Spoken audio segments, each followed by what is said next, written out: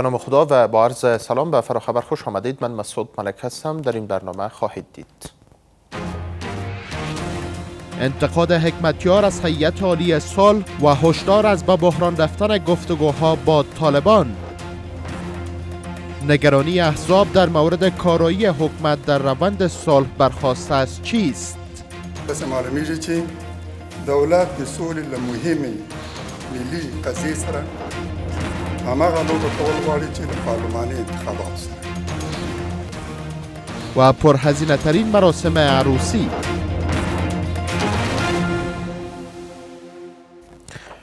گل بدون حکمتیار رهبر حزب اسلامی در واکنش به معرفی هیئت عالی صلح از ترکیب آن انتقاد می کند و می‌گوید که حکومت میکوشد در روند گفتگوهای صلح یک بازی سیاسی را براندازد. او با پشتیبانی از طرح احزاب و جریانهای سیاسی دیگر برای یک گفتگو با طالبان میافزاید که حکومت میکوشد تا سرنوشت صلح را نیز همچون انتخابات مجلس نمایندگان به بحران بکشاند. آقای حکمتیار که سوی رئیس جمهور غنی همچون عضو هیئت عالی مشورتی صلح معرفی شده است. عضویت در این هیئت را هم نمیپذیرد. این انتقادها در حال سوی یک متیار مطرح شده است که پیش از این کمیته سیاسی احزاب و جریانهای سیاسی نیز از ترکیب برداری مشورتی روند صلح انتقاد کرده بود. ولی پرسش این است که دلیل اختلاف روی معرفی هیئت عالی صلح میان احزاب و حکومت در چیست و نیز چرا حزب اسلامی از عملکرد حکومت در راستای صلح نگران است؟ مهمانان من در این بحث آقای حبیب الله جانبدار فعال سیاسی و آقای فضل غنی حقبل معاون سخنگوی حزب اسلامی هستند. مهمانان عزیز سلام بر شما. سپاسگزاری می‌کنم از حضورتان در طول نیوز. آقای اقمل بحث با شما آغاز می‌کنیم. چرا حزب اسلامی از هیئت عالی مشورتی صلح انتقاد داره و در مورد کارکرد حکومت در بحث صلح نگران است؟ اعوذ بالله من الشیطان الرجیم. بسم الله الرحمن الرحیم. تاسو ته جانبدار صاحب ته او د تلونیوز تلویزیون قدرمنو لیدونکو ته سلامونه او احترامات. وړاندې کوم اول خو باید واضح کوم چې صلح زموږ لپاره لومړیتوب دی او هر هغه اقدام چې د صلح منتج کیږي او د صلح باعث ګرځي موږ د هغه ملاتړ کوو او صلح ته لومړیتوب ورکوو او په همدې هدف حزب اسلامي د صلح له پروسې سره یو ځای شو او د صلح لارې خپله کړه او دغه جګړه یې وغندله. یعنې په هر د هر هغې اقدام ملاتړ کوو پلوي کوو چې هغه په افغانستان کې د باعزت او تلپاتې سولې باعث کیږي. دا چې ولې حزب اسلامي او نور سیاسي ګوندونه د سولې د مشورتي بورډ په اړه ملاحظات لري دلیل دا دی چې دا یوازې یو مشورتي بورډ دی یو د سیاسي ګوندونو سره په تفاهم او همغږۍ کې نه دی رامنځته شوی. یعنی دا یو اجرایوي صلاحیت نه لري او یوازې د دې بورډ دنده او وظیفه هغه مشوره ورکول دی او د دې تضمین هم موجود نه دی چې آیا دغه مشوره چې ورکول کیږي په دې به عمل کیږي او کنه کیږي بله ولی ترکیبی که این هیئت داره؟ چگونه است از دید حزب اسلامی لومړی خو پکار و چې یو ځواکمن او صلاحیتمند هیئت ټاکل شوی و. د خلیزه صاحب غوښتنه هم دا و د طالبانو نه او د حکومت نه چې باید یو ځواکمن پیاوړی او صلاحیتمند هیئت وټاکل شي. د بورډ خبره مطرح نه وه. د بورډ خبره د حکومت ابتکار دی او یوازې د مشورې تر حده پورې دوی کولای شي چې رول ولوبوي. سیاسي ګوندونه او حزب اسلامي غوښتل چې یو ځواکمن او صلاحیتمند ولی حکومت وقتی هیئت باید وگمارل گرفته بله این کارایی این تصمیم یا مسئولیت این تصمیم آقای اکمل شما تا چه اندازه می‌بینین؟ یعنی با این تصمیم افغانستان به سوی صلح رفت؟ تر ډیره چې لیدل کېږي په دغه بورډ کې که څه هم موږ ټولو ته احترام لرو ټول د افغانستان ډیر درانه معزز او وړ شخصیتونه دي. اما داسې افراد باید په دغه هیات کې ګمارل شوي وو چې هغوی صلح تجمن او د جګړې د پای ته رسېدو غوښتونکي وو او په څنګ کې دوی ته واک او صلاحیت ورکړ شوی و تر څو وکولای شي چې دغه پروسه په ښه توګه پر مخ ورځي او په څنګ کې دغه حیات یا پلاوی د صلاحیت هم درلودل چې کومې پریکړې چې کیږي هغه عملی او اجرا هم آقای اکمل آقای جانبدار سلام بر شما. آقای جانبدار زمانی که تشکیل این هیئت عالی مشورتی را ابتکار حکومت میخوانه حزب اسلامی پس امین دلیل را که حکومت داشته و خواست چون این تصمیمی را بگیره و تنها نقششان مشوره دهی باشه تحلیل شما چی را نشان میده چرا حکومت این گونه تصمیم گرفته باشه؟ به نام خداوند متعال با عرض سلام بر شما و مهمان گرامیتان و همچنان به بینندگان معزز تلویزیون طلو اصلا خوب در رابطه با تامین صلح عرف ملی ما داریم و عرف بین در عنانات ملی ما همیشه وقتی که منازعات واقع می شد صلاحیت به نیرو یا یک گروپ یا یک تعداد از شخصیت های سالس بالخیر سپرده می شد او رای عنانوی هست و از لحاظ اقلانیت هم معقول ترین شیوه امی هست.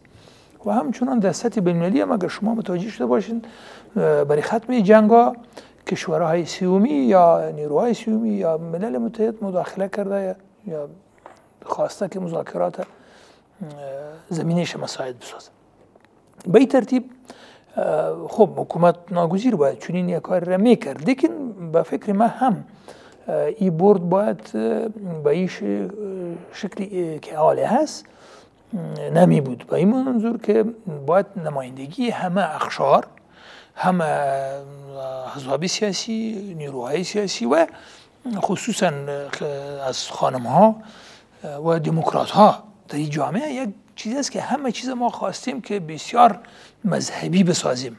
الحمدلله همه ما مسلمان هستیم.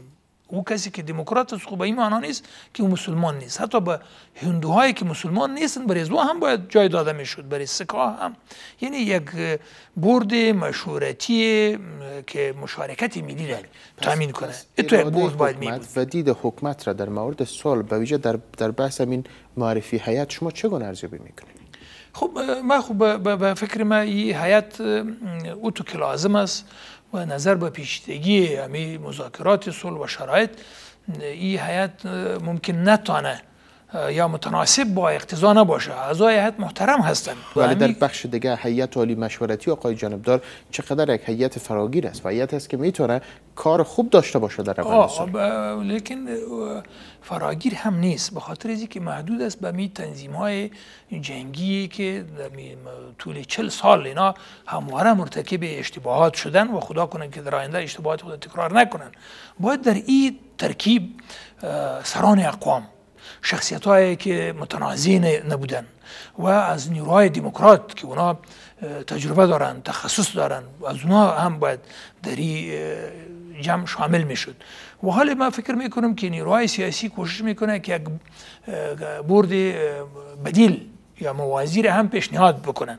خب گرچه اول گپ سریازی هست که آیا مو طرف متخاصم با حکومت مذاکره می‌کنه یعنی درست است که حکومت باید آمادگی خود داشته باشه ولی جای تاسف ایجاست که نیروهای مسلی مخالف هنوز اصلا اعتنای نداره به نگرانی احساب چقدر بجاست آقای به جانب دار نگرانی خود در اینمی حدود که من عرض کردم مواجه هست. ولی خب حکومت ولی زمانی که خواستار صلاحیت اجرایی هستند و میگن که باید تصمیم بگیرن این خواست چگونه است؟ خب این وضع زیاده خواهی هست. یعنی به این معنا که اول باید این برد تکمیل شوه از غور شوه سر و ترکیب ازی و همچنان طرز کار ازی. این باید مورد مذاکره با همه قرار بگیره. شما می‌بینین که در این مسائل مذاکره ما در افغانستان شخصیت های بسیار مجربی داشتیم. مثلا اتمر صاحب که در با حزب اسلامی بسیار موفقانه این مذاکره رو پیش برد. این شخصیت ها باید مفاهمه صورت بگیره. آقای اکمل زیاده خواهی را شما چگونه تعریف می‌کنین؟ وقتی که خواستار صلاحیت هستین یعنی ظرفیت باستا چی اندازه است؟ واقعا از موضوعی که آقای جانبدار اشاره کرد تنظیما اینا می‌تونن که باز با مخالفین صلح بکنن؟ دلته فکر نکوم که د زیاده خوایي خبره مطرح وي. دلته د سیاسي ګوندونو او د حزب اسلامي اندېښنه دا ده چې دا بورډ چې تشکیل شوی دی دا یو مشورتي بورډ دی. او له نوم څخه معلومیږي چې دا به یوازې جمهور رئیس ته مشوره ورکوي او وروستی اقدام به جمهور رئیس نیسي خواهیم داشت. بیننده فراخبرم پس از میان برنامه باشید.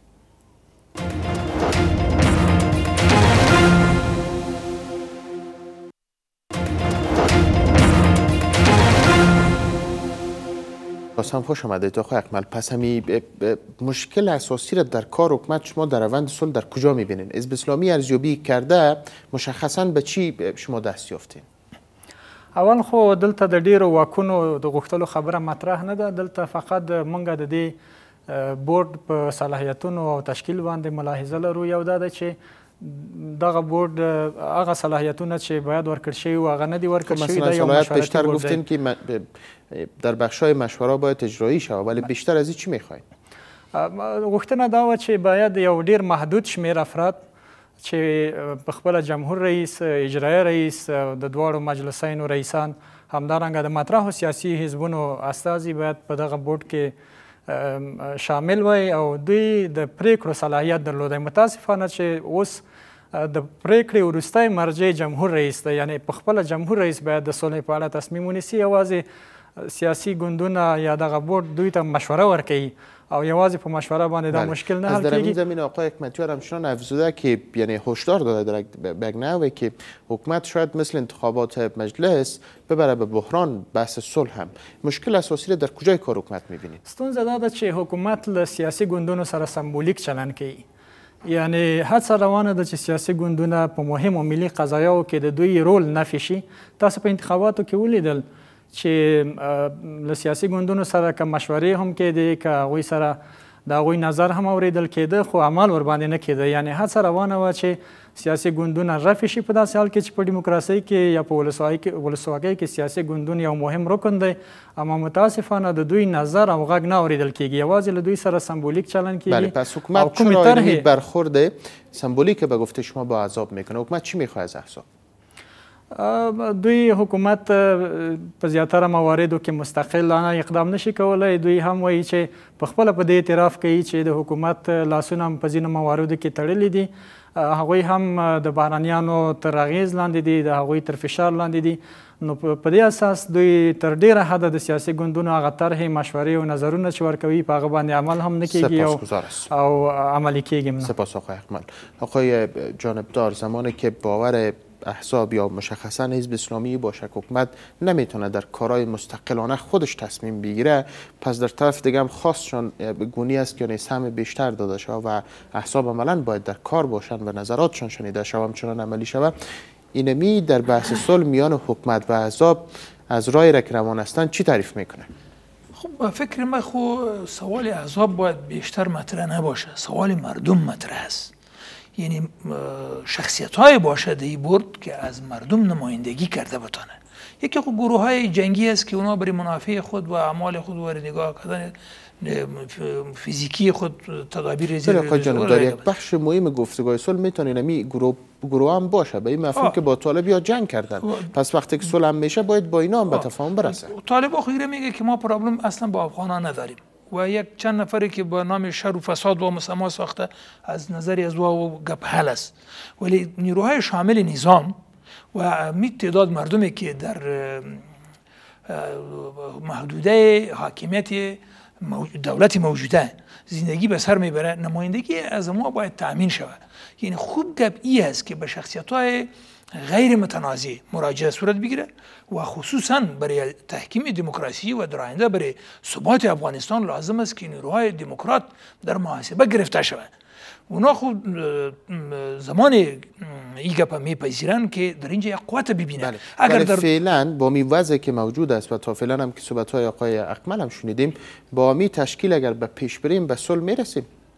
خب اصلا خوش ما چندین بار در این میزم گفتیم که جنگ افغانستان یک جنگ که از بیرو آورده شده بله. یکی. ولی با تلاش های اخیر اگر در نظر بگیریم چی میگید؟ خب حکومت و بخش اعظمی مردمی که مربوط به نظام هستند اینا باید در قدم اول بین خود یک مفاهمه هماهنگی و هم صدایی داشته باشه تا در آینده از این توانمندی زیر پیدا کنه که شامل یعنی مذاکره شود. اختلافات فعلی بیانگری است که کار در آینده بسیار خوب پیش نخواد رفته.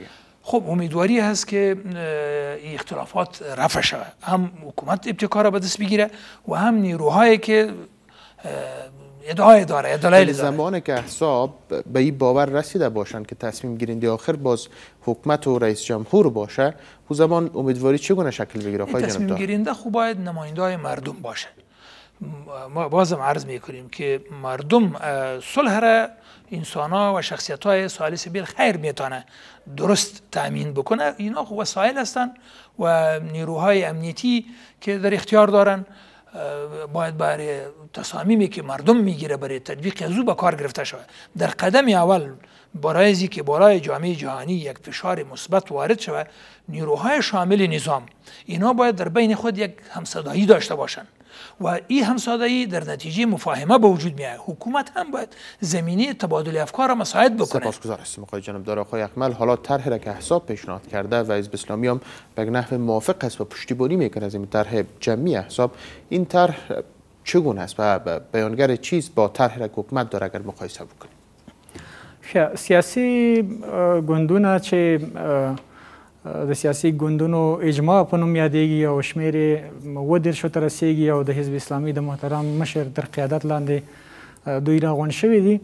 دوی د صلح لپاره یو داسې میکانیزم غواړي چې هم طالبانو ته د منلو وړ وي او هم د افغانستان ټولو زیدخلو لورو ته د منلو وړ وي هغه دا چې اول داسې یو هیئت ځواکمن او پیاوړی هیئت رامنځته شي چې هغوی هم د صلح د خبرو اترو د پرمخ بیولو صلاحیت ولري او همدارنګه د دغه کومې پریکړې چې کیږي له طالبانو سره د هغې د عملي کولو او اجرا دنده هم تر یو حده د دوی پر غاړه وي. په دویم قدم کې په دغه هیئت کې باید داسې اشخاص او افراد وي چې هغه صلح ته ژمن وي هغه د جګړې غوښتونکي نه وي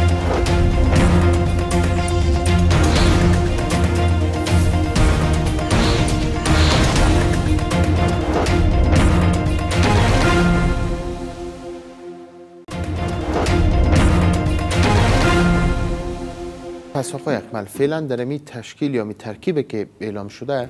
کیار شما افراد میبینین که به مصمم نیستن که صلح به یا موافق نیستن با صلح؟ خو دا ټول افغانستان ملت ته معلومه ده چې کله د صلح خبرې زور اخلي یا د طالبانو سره د صلح د پروسې لړۍ پیلېږي. نو یو ډول یو تعداد خلک په داخل د نظام کې او له نظام نه بهر هغوی عکس العمل ښیي دغه پروسه ضرورت نشته چې د افراد مردم نیاز دارن بفهمن. زمانی که حزب اسلامی می نگرانی خود مطرح می‌سازه. بهتری است که شما بگویید که کدام افراد نمی‌خواین افغانستان به سال برسه؟ به ویژه کسایی که میگن در داخل نظام هم هستن.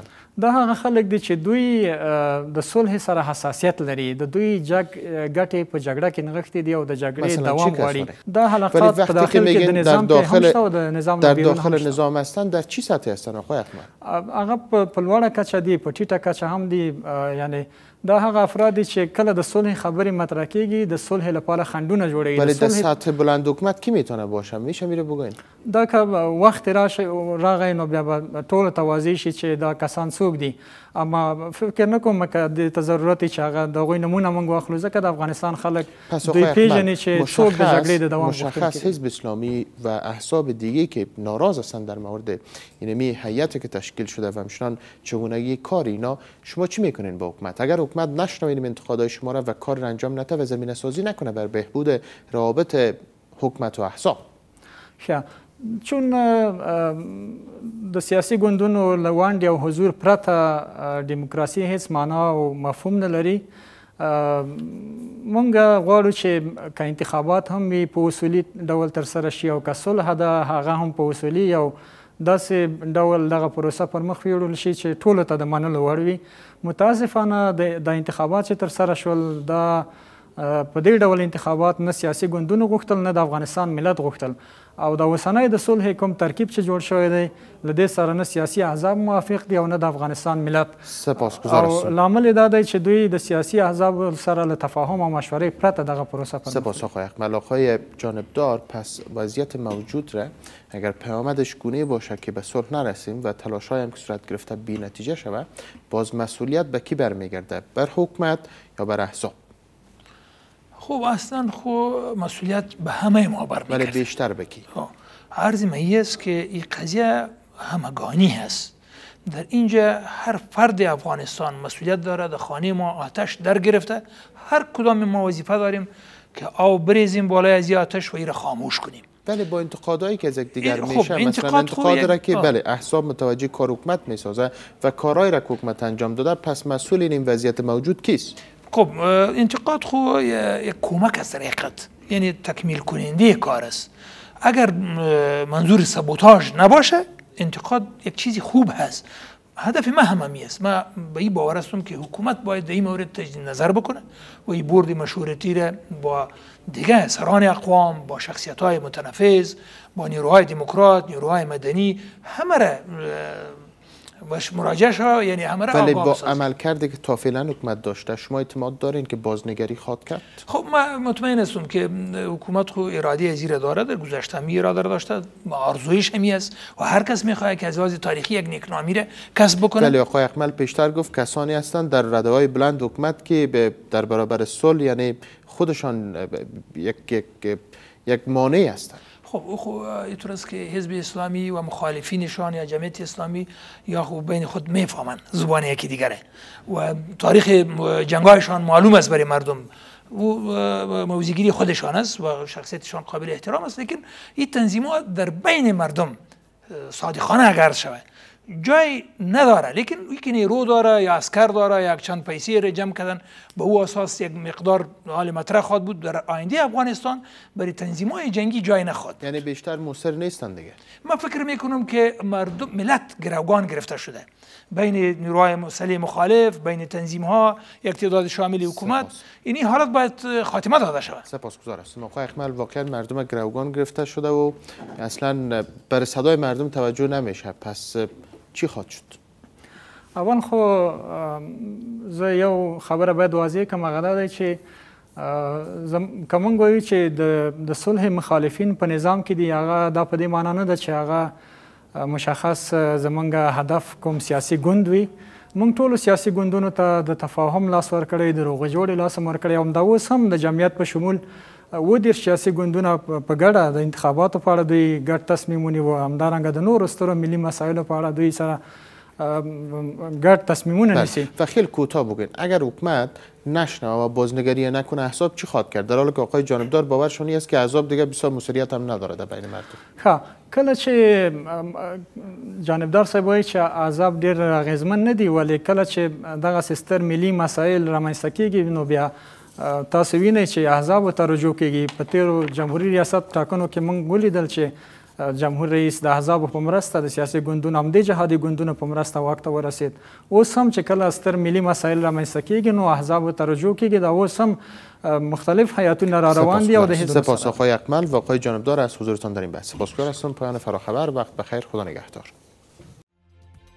مراسم عروسی شامبانی دختر 27 ساله موکه شامبانی ثروتمندترین فرد هندوستان با فرزند یک خانواده میلیاردر دیگر هندی هفته گذشته به مدت پنج شبانه روز در شهر اودایپور این کشور برگزار شد. این عروسی بیش از 100 میلیون دلار هزینه برداشته است. در این مراسم از چهره های سیاسی گرفته تا هنرپیشه های مشهور سینمایی بالیوود نیز حضور یافته بودند. هلری کلینتون وزیر پیشین خارجه آمریکا نیز در بین مهمانان ویژه این مراسم عروسی مجلل بود. بیانسه خواننده آمریکایی با دستمزد که رقمی آن اعلام نشده. به اجرای برنامه موسیقی مراسم پرداخت و نیز در پنج شبانه روز مراسم این عروسی مجلل روزانه سه وعده غذایی گرم بین 5000 فقیر هندی توزیع شده است. هزینه های گزاف این عروسی مجلل با انتقادهای مواجه شده است.